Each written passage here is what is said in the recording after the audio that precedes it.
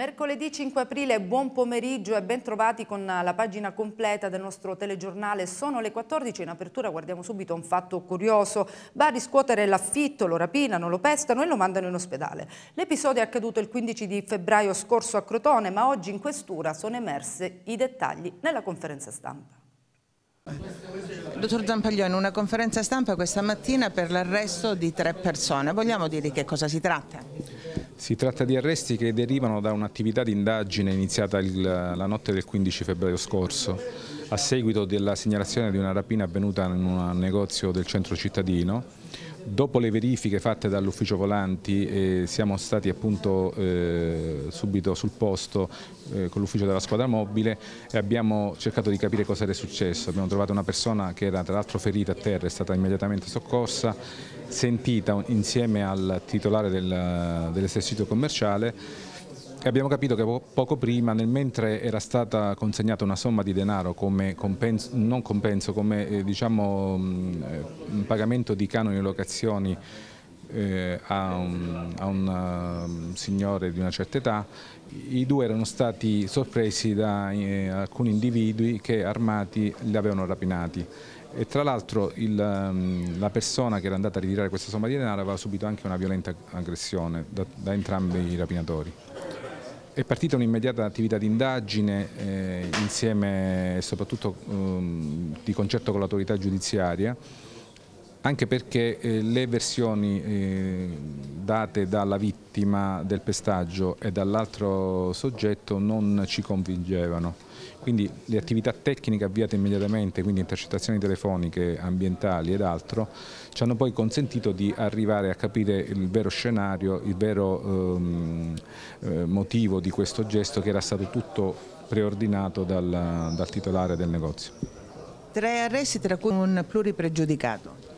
Sì, eh, gli arrestati sono il titolare del negozio stesso che poi ha simulato questo reato di rapina proprio perché in difficoltà economica ha, ha coinvolto nella vicenda il suo commesso e un altro individuo eh, amico del dipendente che si è prestato a, a, porre in essere questo grave episodio e che è un soggetto di, conosciuto agli uffici con diversi precedenti.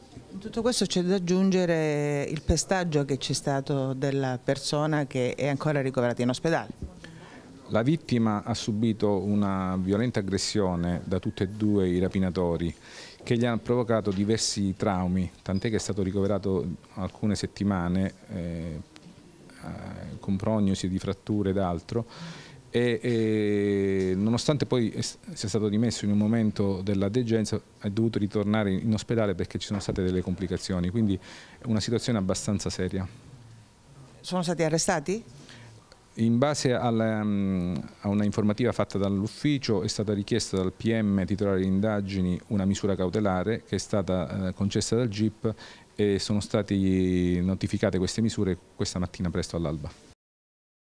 E sono 11 i provvedimenti di fermo emessi dalla DDA di Reggio Calabria. Parliamo dell'operazione di ieri mattina proprio a Reggio Calabria. Oggi la conferenza stampa e i dettagli. Sono 11 i provvedimenti di fermo emessi dalla DDA di Reggio Calabria nei confronti di elementi di vertice, affiliati e prestanome del gruppo criminale di Rosarno. Sono tutti accusati a vario titolo di associazione per delinquere di tipo mafioso, illecita concorrenza con minaccia o violenza, intestazione fittizia di beni e favoreggiamento personale nei confronti del boss, latitante Marcello Pesce, arrestato dalla polizia il primo dicembre del 2016, nonché di traffico e cessione di sostanze stupefacenti. Nell'elenco c'è anche una dodicesima persona, si tratta di Antonino Pesce del 92, nato a Cinquefrondi e residente Rosarno, attivamente ricercato ancora dalla Polizia di Stato. La Cosca non ha bisogno di rafforzarsi perché è ancora presente sul territorio nonostante i numerosi arresti continuano ad avere una propria organizzazione, una struttura ancora operativa eh, tanti sono gli elementi che ancora in libertà si muovono per la cosca. Di volta in volta si riesce ad acquisire un quadro indiziario grave nei confronti di una parte di essi, per lo più coloro che operano per la cosca e eh, si procede all'arresto. Eh, oggi per esempio mi è sembrato particolarmente sorprendente che in occasione della traduzione degli arrestati fosse presente una folla così numerosa e mi sembrava di essere tornata agli anni 70, anni 80, in cui eh, gli appartenenti alla Cosca andavano a salutare i vertici che venivano tratti in arresto e per la verità è un segnale certamente non positivo. Continuiamo a parlare di cronaca e lo facciamo guardando al consueto giro regionale. I carabinieri della stazione di Siderno hanno denunciato un 43enne di Platì già noto alle forze dell'ordine per il reato di lesioni personali. Secondo la ricostruzione dei fatti, l'uomo nella giornata di lunedì avrebbe avuto un diverbio con un anziano del posto a seguito di problemi legati alla circolazione stradale. Grazie alla collaborazione di alcuni testimoni si è riusciti ad individuare l'autovettura usata dall'aggressore e individuare il conducente autore dell'aggressione. L'uomo è stato denunciato alla locale Procura della Repubblica. I carabinieri della stazione di Bovalino hanno arrestato in flagranza di reato due uomini per violenza o minaccia e resistenza a un pubblico ufficiale. Uno dei due pare abbia tentato anche di minacciare gli agenti, così il quarantenne è stato bloccato e dichiarato in arresto, mentre il coltello della lunghezza complessiva di 18 cm utilizzato dall'uomo è stato sottoposto a sequestro. Aveva cercato di rapinare due centri scommesse facendo irruzione con una pistola e il volto coperto. Il primo lungo la statale 18, l'altro in pieno centro a Vibo Valencia. Per questo motivo sono state attivate le ricerche del veicolo che è stato rintracciato a Soriano Calabro. Essendo a tal punto evidenti i gravi indizi di colpevolezza della persona individuata ed essendo concreto il pericolo che lo stesso potesse darsi alla fuga, si è proceduto al fermo di polizia giudiziaria del giovane, che quindi, dopo tutti gli adempimenti di rito, è stato accompagnato in carcere. Tre medici dell'ospedale di Soverato sono stati rinviati a giudizio dal gruppo del Tribunale di Catanzaro con l'accusa di omicidio colposo per la morte di un neonato avvenuta nel settembre del 2014, dopo quattro giorni dalla sua nascita. Andranno dunque a processo il primario del reparto di ostetricia e ginecologia Domenico Perri e i medici in servizio nello stesso reparto. Il piccolo era nato nell'ospedale di Soverato, da dove era stato poi dimesso in buone condizioni di salute. Quattro giorni dopo i genitori preoccupati per il pianto continuo avevano riportato il bambino nel nosocomio, da dove poi era stato trasferito con urgenza a Catanzaro. Poche ore dopo sopraggiunse il decesso. Secondo l'accusa, i camici bianchi non avrebbero fatto il possibile per evitare la morte del piccolo, omettendo di diagnosticare una malformazione al cuore che, se accertata, avrebbe potuto garantire al neonato cure appropriate in un centro specializzato. Ignari cittadini eh, erano eh, praticamente coinvolti in una truffa da parte di quattro persone che si spacciavano per finanzieri vendendo delle false riviste. Sentiamo.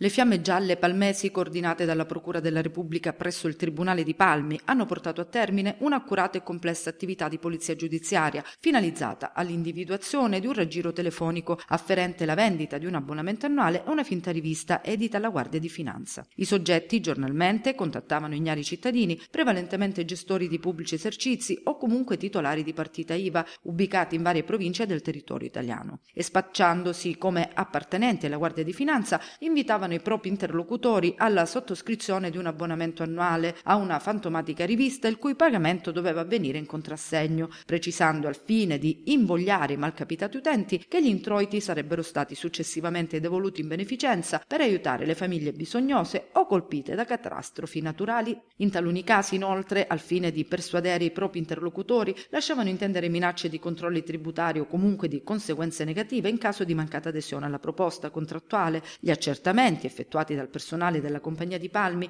hanno però permesso di individuare tutti i soggetti coinvolti e di riscuotere il modus operandi posto in essere, nonché i diversi ruoli e compiti ricoperti da ciascuno. Nel particolare il sodalizio criminoso era promosso e diretto organizzato da un soggetto residente nella piana di Gioia Tauro, il quale con la partecipazione di un fidato collaboratore proponeva telefonicamente le adesioni alla rivista. Altri due soggetti avevano il compito l'uno di provvedere al ritiro e alla consegna della corrispondenza e l'altro titolare di una tipografia di stampare le false riviste alla luce di quanto descritto. Il giudice per le indagini preliminari presso il Tribunale di Palmi, il dottore Minniti, ha emesso un'ordinanza di custodia personale e cautelare nei confronti di quattro soggetti coinvolti, in particolare una misura degli arresti domiciliari, una misura dell'obbligo di dimora e due misure dell'obbligo di presentarsi alla polizia giudiziaria, nonché il sequestro preventivo di una società di un immobile utilizzato come sede del call center. Troppo monello per la maestra che vuole allontanare il bimbo dalla scuola, un bambino di 7 anni, ma i genitori non ci stanno e denunciano il fatto. Tutto ciò è avvenuto a Cosenza all'interno di una scuola elementare. Ma sentiamo i dettagli nel nostro servizio. Se una comunità educante non riesce a tenere fede alla sua missione costituzionale, sicuramente bisogna verificare al suo interno i fattori che impediscono la stessa di svolgere il compito primario di integrazione. Il caso esploso nella provincia di Cosenza descrive la storia di un bimbo di sette anni che viene ritenuto troppo monello e dunque non desiderato in quella realtà scolastica, ma non solo anche i genitori dei compagni del Monello non gradiscono la presenza del bimbo tra i propri figli. È stupefacente che in una dimensione scolastica tesa alla formazione ed alla educazione anche le maestre si siano messe a fare pressing per spostare il Monello ad altra classe o ad altra scuola. Ai poveri genitori non resta che la denuncia, ma la vera denuncia va fatta verso un sistema che dopo i grandi annunci di inclusione e di centralità della comunità educante professa al contrario l'esclusione e l'emarginazione. Al ministro Fedeli rimandiamo questa piccola ma delicata questione che mette in crisi uno dei principi più saldi della nostra Costituzione circa le pari opportunità di essere formato ed educato e se a fallire su questa mission è proprio la scuola, c'è davvero da preoccuparsi. E adesso cambiamo argomento e parliamo di sanità. Il decreto non ha subito nessuna sospensione, deve essere ancora adottato e c'è solo la firma di Scura e pare che mancherebbe quella di Urbani. A sostenerlo ai nostri microfoni è stato proprio Riccardo Fatarella, dirigente generale tutela della salute Calabria. Dottor Fatarella, questo decreto 50 che prevedeva tante assunzioni proprio nella sanità calabrese ha avuto un blocco. Ci spiega lei di cosa si tratta, visto che comunque sono tante le, i pareri che stanno uscendo sugli organi di stampa? Allora, i pareri sugli organi di stampa sono legittimi e quindi è giusto che ci siano. Il decreto non ha subito nessuna sospensione, deve essere ancora stato adottato. C'è un decreto firmato dal commissario Scura e non firmato dal, dal subcommissario Urbani. Il Dipartimento ha una direttiva scritta del Ministero della Salute che tutti i decreti che hanno una sola firma sono irricevibili. Questa direttiva è stata confermata, lo ha il resoconto stenografico, anche nell'ultimo eh, rincontro al tavolo di monitoraggio con i ministeri eh, che ci controllano il 28 marzo, quindi poche ore fa e anche in quell'occasione eh, la dottoressa Duce che conduceva il tavolo ha ricordato al commissario e al Dipartimento che i decreti devono avere tutte le firme per essere validi e quindi pubblicati. Finché non, saranno, non sarà questo decreto firmato vuol dire che stanno ancora discutendo tra commissario e subcommissario il Dipartimento lo ha firmato, mi auguro che quanto prima si possano chiarire le cose e che si possa dare serenità a un ambiente, l'ambiente sanitario che ha bisogno anche di poter lavorare serenamente. Abbiamo bisogno di queste assunzioni, il Dipartimento ha firmato il decreto e lo condivide, il fatto che il subcommissario non lo abbia firmato e che non sia d'accordo col commissario è un problema che riguarda loro e non me. Come mai allora si tende anche a mandare in confusione i tanti cittadini che da queste, anche da queste polemiche comunque potrebbero essere parte lesa? Come vedete io eh, non ho eh, fino ad oggi eh, fatto nessuna dichiarazione perché secondo me l'amministrazione, come diceva un grande giurista Massimo Severo Giannini, deve procedere per atti scritti e non per dichiarazioni alla stampa. Allora io aspetto che la Regione e che i ministeri affiancanti facciano uscire la loro posizione che dovrebbe essere questione di pochi giorni, in modo da rasserenare l'ambiente e evitare che chi oggi ha fatto tanta confusione creando questo sì danno ai cittadini e al servizio sanitario regionale, se non altro chieda scusa e continuiamo a lavorare insieme. Con Fabio Tomaino che ha rappresentato la WIL regionale all'incontro con Sacal nei giorni scorsi abbiamo parlato del bando dei due aeroporti che riguardano Crotone e Reggio Calabria e anche del futuro dei dipendenti. Con Fabio Tomaino vogliamo parlare dell'incontro che si è tenuto alla Mezzia con la Sacal. Come sindacato la UIL ha sempre difeso il personale eh, dell'aeroporto Sant'Anna di Crotone. Nel momento in cui nasce questa gestione a livello eh, regionale dei tre aeroporti, la UIL eh, in qualche modo si allinea alle scelte della Sacal o continua a dire che il personale dell'aeroporto di Crotone, ma come quello di Reggio, devono essere riassunti. Beh, eh, è successo più o meno il contrario, nel senso che Sakal, eh, grazie a Dio, si è allineata alle richieste che il sindacato ha fatto nei giorni scorsi, ovvero quelle di eh, fare un bando sì pubblico, ma che mettesse al centro una serie di criteri che consentissero agli ex lavoratori Sant'Anna, che poi ex non dovrebbero essere perché sappiamo bene che ancora oggi dovrebbe vigere l'esercizio previsorio, consentire a questi lavoratori di avere una, dire, una, strada privilegiata non di discriminazione rispetto ad altri, ma rispetto all'esperienza. Tant'è che nella riunione di ieri il direttore di Confindustria regionale, la responsabile del personale di Sacal, hanno, a differenza della riunione del 20 marzo, prospettato una logica di criteri completamente diversa che va incontro alle richieste del sindacato, ovvero nell'ambito degli avvisi pubblici, che sono già sul sito, quindi ciò che diciamo è noto, eh, verranno eh, considerati come eh, requisiti fondamentali l'esperienza nello scalo aeroportuale e la formazione, ovvero la professionalità acquisita. Questo consentirà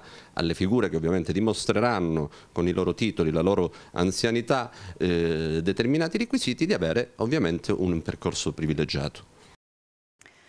Parliamo del dossier 2016 migranti e lo facciamo con il comandante della Capitaneria di Porto di Crotone, Andronaco. Comandante, oggi si parla del dossier migranti 2016, dati interessanti e dati che ci mettono anche di fronte a quello che è l'attività, dobbiamo dire, della Capitaneria di Porto. Oggi è un consuntivo praticamente, si fa un riesame di tutta quella che è stata l'attività annuale dei, degli organi interessati al fenomeno dell'immigrazione irregolare, in particolar modo diciamo, la questura, che poi segue tutto l'iter praticamente del, dell'inserimento diciamo, di, dei vari soggetti nel territorio italiano. La nostra attività ovviamente, eh, come più volte diciamo, sostenuto e ribadito, è quella di salvare le persone, a prescindere da qualsiasi legge, da qualsiasi norma, da qualsiasi intenzione politica o non che sia. Quindi, e lo faremo sempre, lo faremo comunque. L'abbiamo fatto per, per professione, lo facciamo in questo momento particolare perché i numeri sono più elevati eh, oltre ad affrontarlo con i normali mezzi nell'ambito delle, delle, delle, acque territoriali andiamo anche con le navi diciamo, alturiere in alto mare. E lì eh, regolarmente, quasi giornalmente ci troviamo di fronte a situazioni che necessitano un intervento non solo di soccorso ma anche di sostegno e di accoglienza come più volte ribadito nelle varie sedi della valorizzazione del territorio e dei beni culturali. Ne abbiamo parlato con Laura Ferrara che è stata presente nel nostro territorio nei giorni scorsi. Come si valorizzano i beni culturali secondo lei? Ma innanzitutto si devono tutelare, si devono tutelare, si devono proteggere e poi si valorizzano con iniziative eh, progettuali che sono volte a far conoscere eh, tante volte proprio i cittadini calabresi stessi, ma poi in generale eh, a far conoscere a tutti, tutti, i cittadini italiani e non quelle che sono le bellezze. Al contempo si tutela e si valorizza un patrimonio e dall'altro lato eh, si crea anche un beneficio economico perché c'è tutto un indotto che ruota attorno eh, alla valorizzazione di questo patrimonio e quindi dei benefici in termini economici. Poi ricordiamo pure che in Europa ci sono veramente tantissimi soldi per la valorizzazione per la promozione della cultura. Sì, assolutamente sì, sulla tutela e sulla valorizzazione del patrimonio culturale l'Unione Europea mette a disposizione diversi fondi che poi vengono incanalati in quella che è la programmazione operativa regionale, quindi eh, sulla base del POR poi a livello comunale si possono eh, pubblicare dei bandi per, ripeto, tutelare delle realtà specifiche. Eh, questo sta alle amministrazioni regionali da un lato lato e locali dall'altro saper sfruttare le risorse che l'Unione Europea mette a disposizione. Mm, finalmente abbiamo acceso eh, i riflettori anche su questa questione dei beni culturali, sulla nostra cultura e sulla nostra storia che in realtà è il punto di partenza anche del nostro, che quello che è stato il nostro programma elettorale, eh, dove noi crediamo che la nostra cultura, i nostri beni culturali siano il vero volano, la vera ricchezza unica che, che comune di Crotone, dove veramente si possa investire. È una ricchezza che non si consuma, è una ricchezza che ci, ci può, consumandola, tra virgolette, si può solo far crescere a noi cittadini e comunque non finirà mai, anzi aumenterà col tempo. Nella mattinata di ieri presso la Basilica Cattedrale di Crotone le forze dell'ordine hanno partecipato alla Santa Messa e al precetto pasquale. Vediamo. Precetto pasquale per le forze dell'ordine. È un appuntamento che per noi è importante perché è un momento di riflessione, per capire diciamo così, attraverso la Santa Pasqua il, quello che è il nostro, la nostra missione. L'abbiamo visto oggi anche nel, nell'omelia, lo vediamo qui con le macchine dei servitori dello Stato. Eh, noi ci siamo sempre e ci saremo anche per questa Santa Pasqua per renderla sicura perché mentre la gente va nei, nelle località di divertimento ci sono questi uomini della polizia, dei carabinieri, della Guardia di Finanza, della Capitaneria di Porto e delle altre forze armate che vegliano per garantire la sicurezza. È un momento anche di condivisione tra tutte le forze dell'ordine. Certo, un momento di condivisione di quelli che sono i valori e gli obiettivi, ripeto, di una missione che è quella di dedicare se stessi al bene comune. Francesco Tarantino ai nostri microfoni ci racconta la voglia di scrivere questo libro e il perché il titolo di Getsemani o dell'inquietudine. Sentiamolo insieme. Come nasce questa voglia di scrivere questo libro sul Getsemani? perché a un certo punto della vita, interrogandosi, si arriva al momento che eh, anche questo rapporto con eh, il divino va affrontato, va discusso, va interiorizzato, va anche decantato per cercare di arrivare ad una conclusione alla quale, alla quale non sono ancora arrivato. Però senz'altro il cimentarmi con eh, questo ha permesso di aprire in modo sincero il mio cuore a me stesso, cioè per cercare di capire attraverso le varie vicissitudini della mia vita dove sono approdato, dove intendo approdare, come, come pensare di andare avanti. Molti mi chiedono, dici dopo questo che scriverai, perché è un momento di confronto serio, reale, sincero con, con la vita. Dante Maffia nella sua introduzione al libro l'ha definita una via crucis attraverso 75 stazioni in cui c'è questo mia agitazione, questa mia inquietudine che cerco appunto di rapportarla un po' a Cristo, all'inquietudine di Cristo. Quindi è un viaggio interiore? Sì, senz'altro è un viaggio interiore, con, attraverso tutte le cose che ho attraversato, siano essi dolori, gioie poche per la verità, sicuramente il, il, raffronto anche con i rapporti che ho avuto con eh, le più diverse persone, a cominciare da, dalla mia compagna, passando poi gli amici fondamentali, nonché figure tipo, che ne so, mio padre, mia madre, eccetera. Con questo è tutto, vi lasciamo in compagnia dell'ampia pagina sportiva, ci ritroviamo alle 17 per altri aggiornamenti, non ci rimane che augurarvi buon pomeriggio.